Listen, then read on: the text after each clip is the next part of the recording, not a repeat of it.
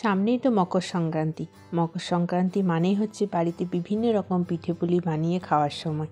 আর এই সময়ে এই পিঠেটা বাড়িতে হবে আর এই এই পিঠেটা শুধুমাত্র মকর সংক্রান্তির দিনেই আমাদের বাড়িতে হয়ে থাকে এবং সরস্বতী পুজো অবধি এই পিঠেটা আমরা বাড়িতে বানাতে পারি। এবং আমাদের মারা মকর সংক্রান্তির দিন সকাল সকাল ঘুম থেকে উঠেই স্নান করে এই পিঠেটা বাড়িতে বানাতো। তাদের হাতের পিঠে একটা অসাধারণ টেস্ট নমস্কার বন্ধুরা welcome to Shilpa's home kitchen আমি শিল্পার নতুন এক রেসিপি নিয়ে হাজির হয়ে গেলাম। আজকের রেসিপি সেদ্ধ পিঠে। সেদ্ধ পিঠে বানানোর জন্য প্রথমে নারকোলটা আমি মিক্সিতে ব্লেন্ড করে নেব। আপনারা চাইলে নারকোলটা কুড়ে নিতে পারেন। তবে কোড়ার মতো নিয়ে নারকোলটা ব্লেন্ড করে নিলে সেরকমই হয়ে যায়, একদম ঝরঝরে। যেমন কুড়ে নেওয়া হয়েছে, সেরকমই হয়ে যায়। দেখতে পাচ্ছেন কি সুন্দর হয়েছে, পুরো যেন নারকেল করা সেরকম হয়েছে। কোনো রকম জল ব্যবহার করবেন না, শুকনো মিক্সিতে পিষে নেবেন। এরপর একটা প্লেটের মধ্যে আমি নারকেল কোড়াটা ঢেলে নিয়ে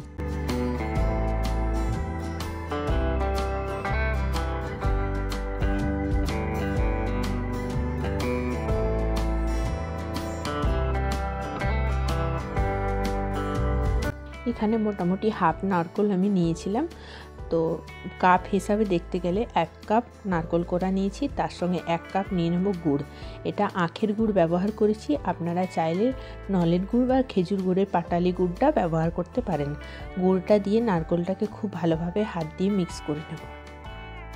এতে পিঠের যে পুরটা হয়, সেটা খুব সুন্দর হয়, আর নারকোলটা গুড়টা খুব ভালো অ্যাবসর্ব করে নেয়।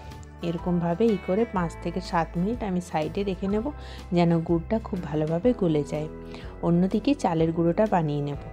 চালের গুঁড়োটা বানানোর জন্য আতপ চাল ভিজিয়ে রেখেছিলাম এক ঘণ্টা। তারপর এক ঘণ্টা একটা কাপড়ের মধ্যে রেখে ভালো করে মেলে শুকিয়ে নিয়েছিলাম ফ্যানের হাওয়াতে। তারপরে ভালো করে ব্লেন্ড করে নেব।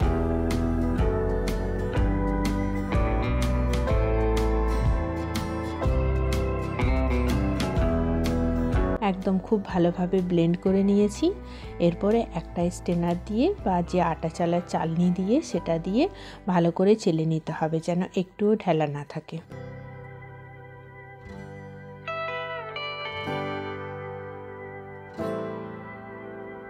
চালের গুঁড়ো দিয়ে এইরকম চালের গুঁড়ো দিয়ে পিঠে আমার ভালো লাগে। দোকানের কেনা চালের গুঁড়োতে পিঠে ঠিক হয় না আর খেতেও কিন্তু ভালো হয় না, খুব শক্ত হয়ে যায় কিছুক্ষণ পর। কিন্তু বাড়িতে যদি ভেজা চালের গুঁড়ো দিয়ে পিঠে বানান, তাহলে কিন্তু পিঠেটার টেস্টটা অনেক বেশি হবে।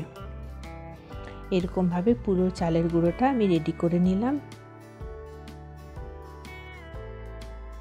দেখতে পাচ্ছেন কতটা গুঁড়ো হয়েছে। প্রায় হাফ কিলো চাল নিয়েছিলাম আর বেশ অনেকটাই হয়েছে চালের গুঁড়ো।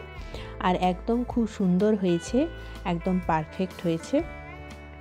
এরপরে পুরটা বানিয়ে নেব। পুরের জন্য নারকোল আর গুড় মেখে রেখেছিলাম, সেটা কড়াইয়ে দিয়ে কিছুক্ষণ ধরে পাক দিতে থাকব, যতক্ষণ না একটু চিটচিটে ভাব আসে। খুব বেশি চিটচিটে করার দরকার নেই, কারণ এটা এটা তো লাড্ডু বানাবো না, এটা শুধুমাত্র পুরের জন্যে। এটাতে আমরা গুঁড়ো দুধ ব্যবহার করতে পারেন বা খোয়া ব্যবহার করতে পারেন। পিঠেটা বানানোর জন্য জল নিয়ে নিয়েছি এক বাটি। এক বাটি জল নিলে তিন বাটি দিতে হবে চালের গুঁড়ো। তাহলে একদম পরিমাণটা পারফেক্ট হবে। আর দিয়েছি লবণ আর দিয়েছি অল্প একটু ঘি। আমি কিন্তু জলের পরিমাণটা বেশি নিয়েছি কারণ এখানে পুরো চালের গুঁড়োটা আমি জলের মধ্যে ফুটিয়ে নেব আর গ্যাসের ফ্লেমটা অফ করে দেব। তারপরে একটু নরম আমি মাখবো। নরমটা মাখতে মাখতেই কিন্তু শক্ত হয়ে যাবে।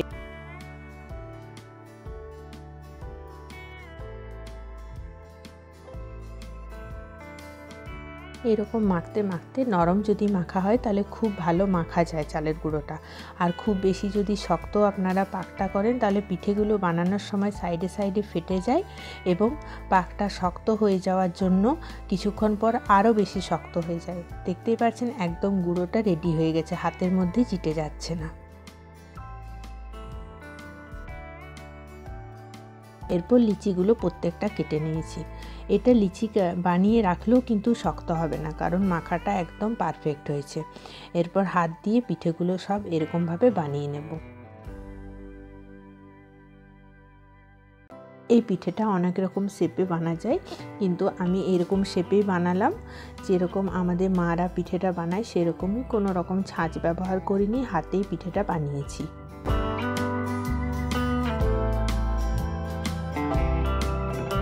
ঠিক এরকমভাবে আর আমার পিঠেটা বানানোর সময় দেখছেন সাইডে কিন্তু একটুও ফেটে যাচ্ছে না। একদম পারফেক্ট হচ্ছে। আর মাখাটা ভালো হয়েছে বলেই পারফেক্ট হচ্ছে। এরপর একটা স্টিমারের মধ্যে পিঠেগুলো সব দিয়ে দেব। তারপর স্টিম করে নেব সাত মিনিট। তার আগে বলে দিই, আমার চ্যানেলে নতুন ভিউয়ার হলে চ্যানেলটি সাবস্ক্রাইব করে পাশে বেল বাটন ক্লিক করে দেবেন। সাত মিনিট জন্য আমি ঢাকা দিয়ে দিলাম। সাত মিনিট পরে চলে এলাম। পিঠেটা একদম খুব ভালোভাবে স্টিম হয়ে গেছে এবং একটা আমি ভেঙে দেখলাম, খুব ভালো স্টিম হয়েছে, ভেতরটাও কোনো রকম কাঁচা নেই। ভিডিওটি কেমন লাগল অবশ্যই কমেন্টে জানাবেন। আর ভিডিওটি ভালো লাগলে চ্যানেলটি সাবস্ক্রাইব করে দেবেন।